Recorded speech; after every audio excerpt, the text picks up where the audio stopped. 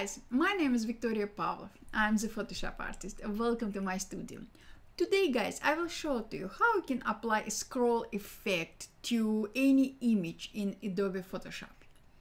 It will be very short but with a lot of information a tutorial. So let's rock and roll. As you can see, I have opened Adobe Photoshop and also I have created my simple document. Of course, guys, you can create your document in any size you like. Also, I have opened already my image I would like to work with. You can use any image you like.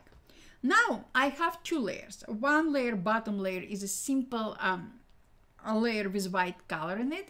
And top layer is my image I would like to apply this scroll effect to. Next step is select uh, to select the bottom of my paper. Why the bottom of my paper? Because i would like to apply this scroll effect to the bottom of my paper. To do so i will highlight um, a polygonal lasso tool. You can use any selection tool you're more comfortable with. And using my polygonal lasso tool i will select part of my paper. Paper i would like to apply the scroll effect to just like that. When you are working on uh, creating a scroll effect to some specific image, you need to take into consideration position of your uh, image. So as you see left uh, um, bottom of my selection, positioned lower than right top uh, corner of my selection because if you will look at the bottom of my um, sticky note paper, you will see that a left corner positioned lower than top corner.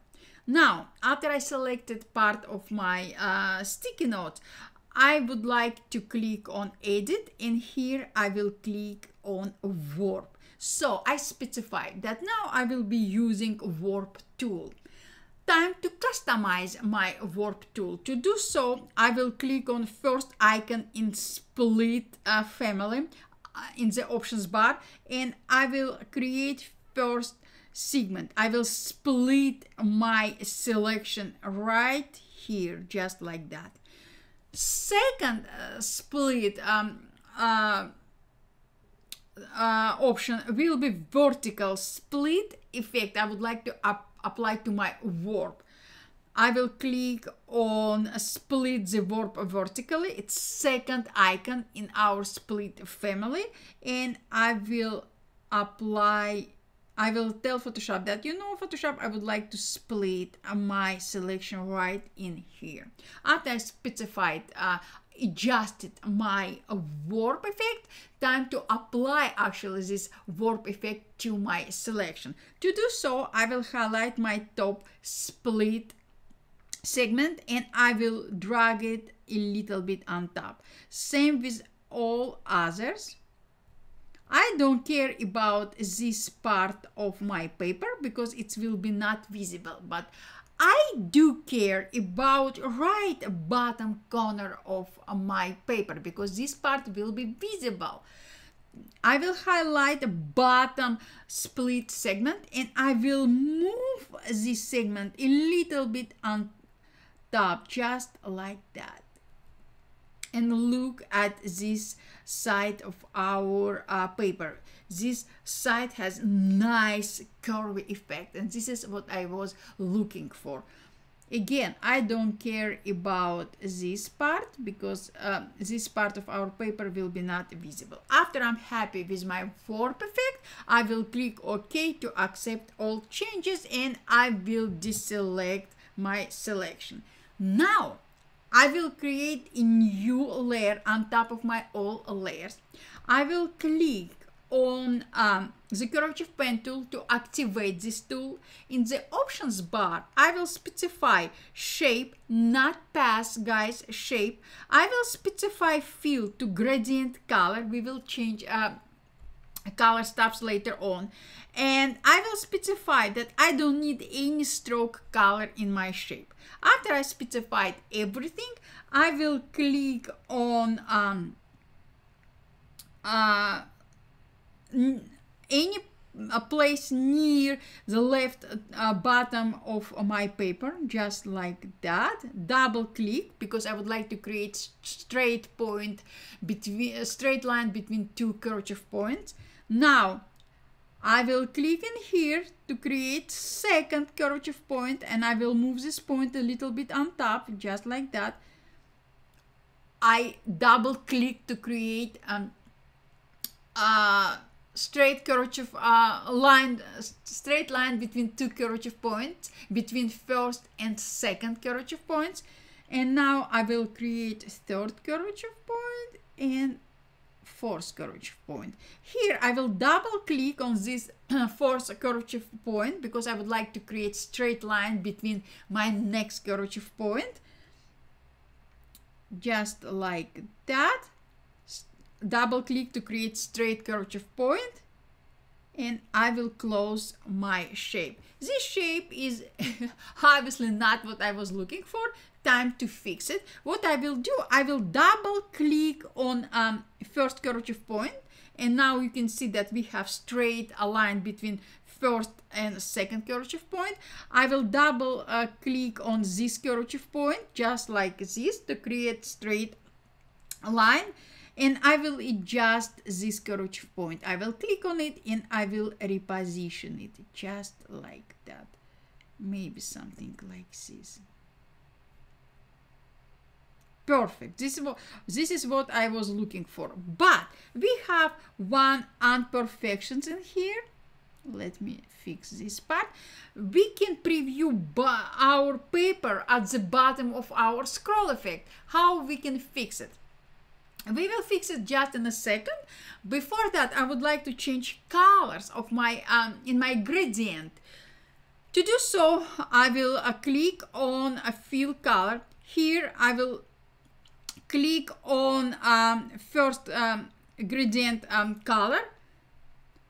And after Photoshop will launch color picker, picker palette, I will click on red, yellow, I'm sorry, yellow color in my paper to select this color. What I will do, I will move um, my uh, color picker in a, a little bit darker tone of yellow color, just like that, maybe something like that, and I will click OK. And now look at this. We have perfect scroll effect. But as I mentioned just a second ago, we need to fix a bottom of our scroll effect. To do so, I will highlight my um, paper uh, layer. I will be using a polygonal lasso tool. You can use again any selection tool you're more comfortable with. And I will select visible part of my paper. I don't want to be visible just like that. After I selected it, I will simply click on delete key just like that and I will deselect it.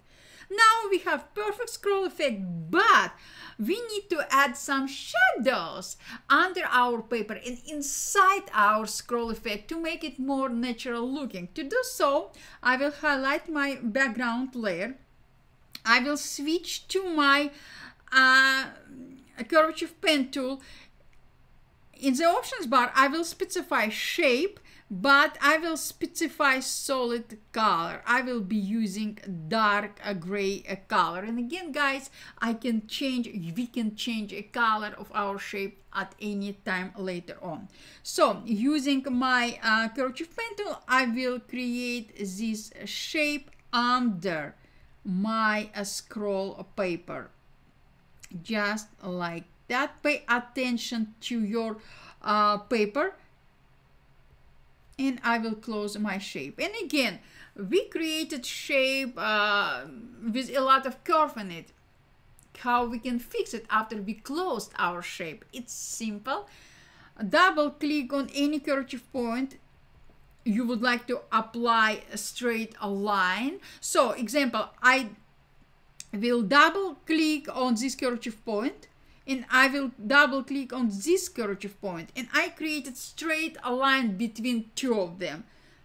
Just like that. Now what I will do? I will click on filter. I will click on blur and here I will click on Gaussian blur Photoshop is asking me, do you want to rasterize your shape? Yes, please. And after Photoshop will rasterize it, let me bring my Gaussian, Gaussian blur uh, panel in here.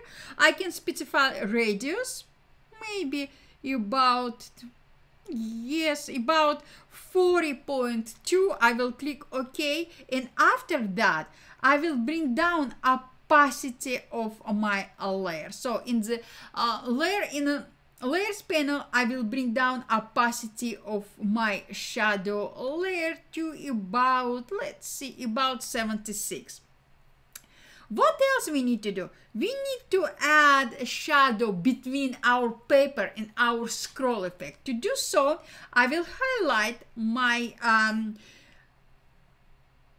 sticky notes layer I will create a new empty layer on top of it. So I created a new empty layer between my sticky note uh, layer and my scroll effect layer.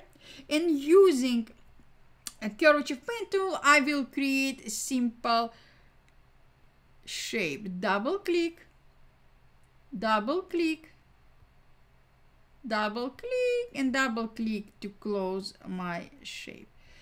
Now, what I will do, I will bring down opacity of this layer, just like that.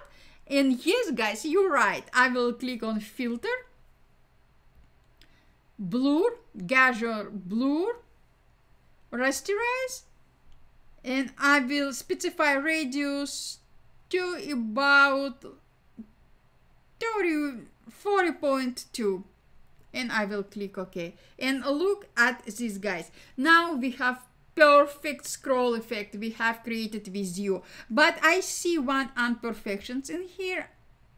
What I will do, I will select my scroll effect layer. I will click on um, curvature pen tool. I will click here and I will extend this segment. Also, you notice guys i have created extra curvature point. I don't need this extra curvature point. I will highlight it and i will click delete key uh, delete to um, delete key to delete this point. Just like that. And look at this. Look at this guys. One second. And now we have perfect scroll effect we just created with you. If for your taste you don't want to have a white a lot of white in your scroll effect select your shape. Let's see where is it? Select select your shape. After that activate your curvature pen tool. Click on fill. Just like that. Click on white point color point and change to any color you like. Just like that. Better? I think it's much much much better. Look at this. So guys this is what i wanted to share with you today. Now you can create um scroll effect to uh, any um, image you like if you have any questions as always just ask i'm here to help thank you guys for all your support thank you guys for uh, all your questions uh, I appreciate it very much. And again, if you would like me to record something specific, just let me know and I gladly will do it for you. Thank you so much, guys, and I will see you later. Bye.